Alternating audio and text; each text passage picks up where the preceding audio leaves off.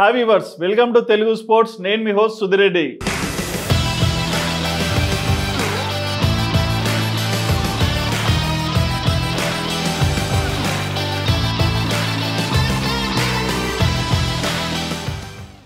So IPL ధమాకా చాలా బాగా జరుగుతుంది. అండ్ ఐపీఎల్లో చాలా టీమ్స్ కూడా పర్ఫార్మెన్స్ పరంగా చాలా బెటర్గా ఉన్నాయి. బట్ చాలా మందికి ఎంతో ఇష్టమైన team and hard core fans base ఉన్న టీం ఏంటో తెలుసా?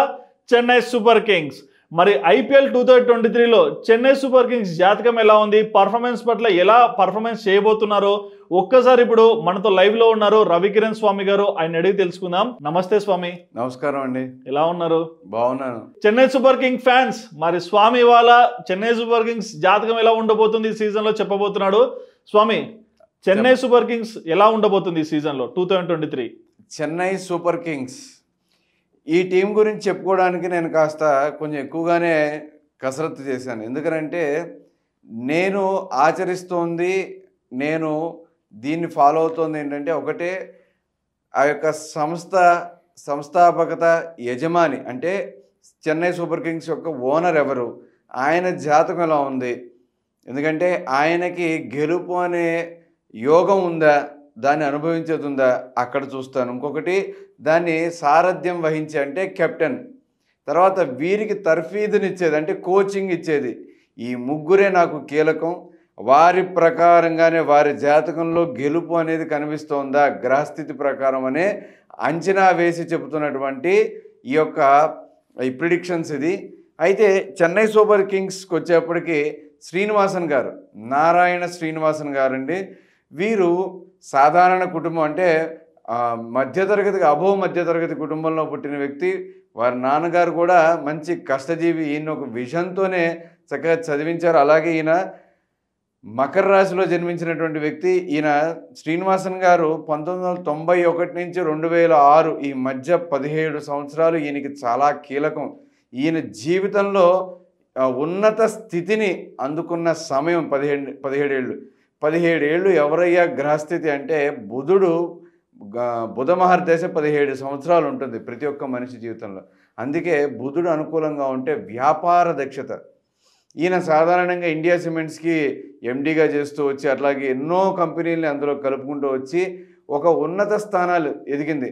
అయితే రెండు వేల ఆరు వరకు కూడా chamber of commerce Chennai chamber of commerce మధ్యలో ఇంటరాక్ట్ చేసినందుకు ఏమనుకోవద్దండి మా చెన్నై సూపర్ కింగ్ ఫ్యాన్స్ కావాల్సింది Chennai super kings two thousand twenty three performance so మరి ఈ పర్ఫార్మెన్స్ ఎలా ఉండబోతుంది? ఎందుకంటే సిఇఓస్ వీళ్ళందరివి మీరు బేస్ చేసుకొని చెప్తున్నారు.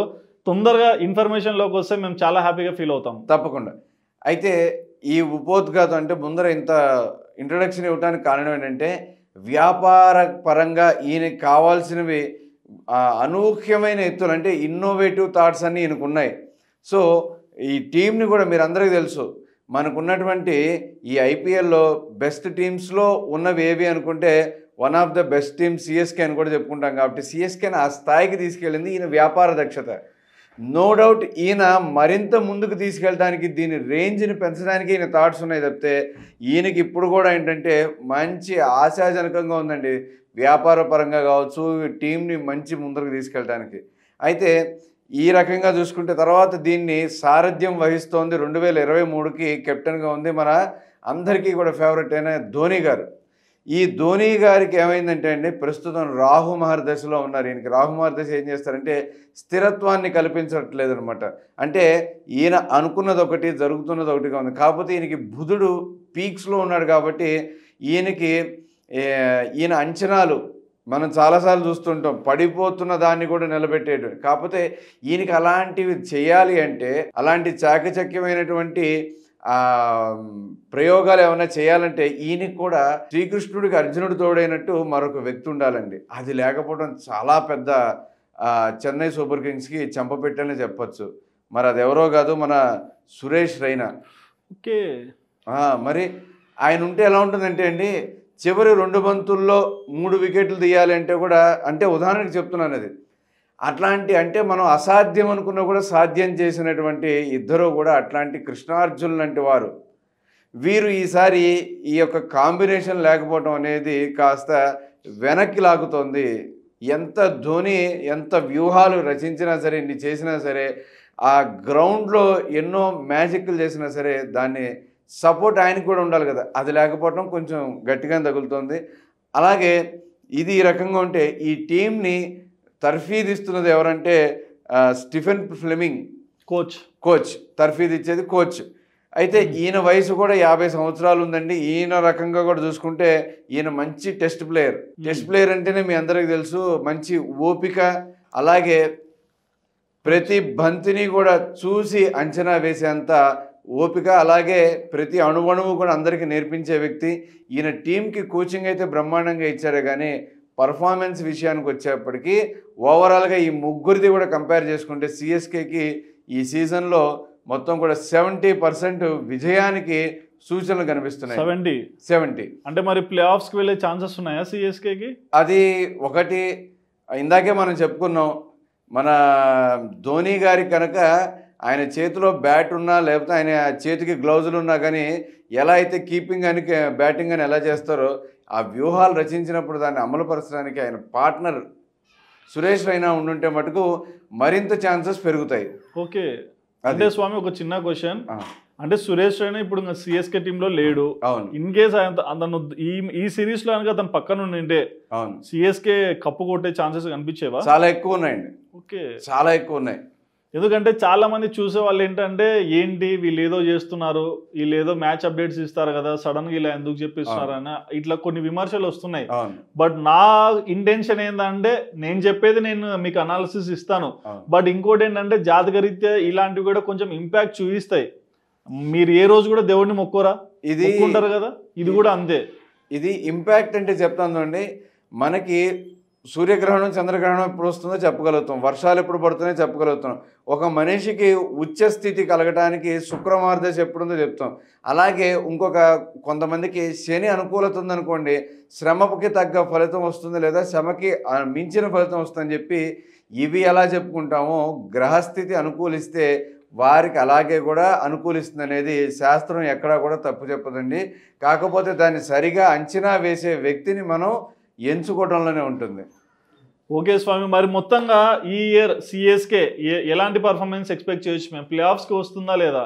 అది మనకి ప్లే ఆఫ్స్ కానివ్వండి ఈసారి వారి పర్ఫార్మెన్స్ అయితే నూటికి నూరు శాతంగా చెప్పుకోవాలంటే నూటికి డెబ్బై శాతం అయితే వీరి యొక్క ఆట తీరు కనబరుస్తున్నారు. ఓకే. అదండి.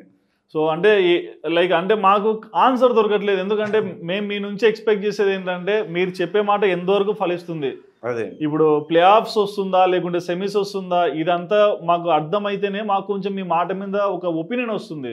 వీరు చివరి వరకు వస్తారండి. సెమీస్ వరకు వచ్చి అక్కడ కీలకంగా మారే సూచనలు ఎక్కువ ఉన్నాయండి. ఎందుకంటే ప్రజెంట్ టీం చూస్తే బౌలింగ్ పరంగా చాలా వీక్గా ఉన్నారు ఒక బ్యాటింగ్ తోనే ధోని ముందర తీసుకొస్తున్నాడు. ఇలాంటి టైంలో ఈ టీం ఎంత పెద్ద రిఫ్లెక్షన్ చూపిస్తుంది అనేది ఎక్స్పెక్టేషన్స్ అర్థం కావట్లేదు. అదే.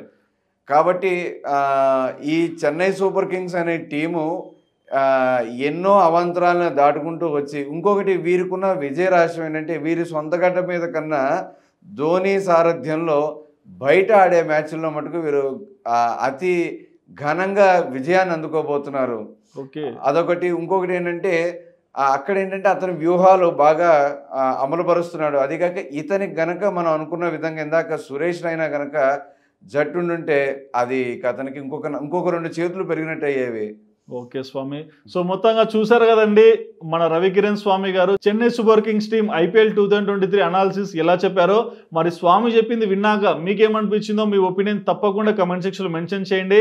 అండ్ గుర్తుంది అండి ఈ వీడియో లింక్ డిస్క్రిప్షన్లో మాదాన్ స్పోర్ట్స్ టెలిగ్రామ్ ఛానల్ లింక్ నేను ప్లేస్ చేస్తాను.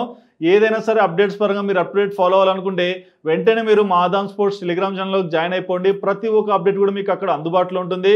And please do subscribe our channel Telugu sports.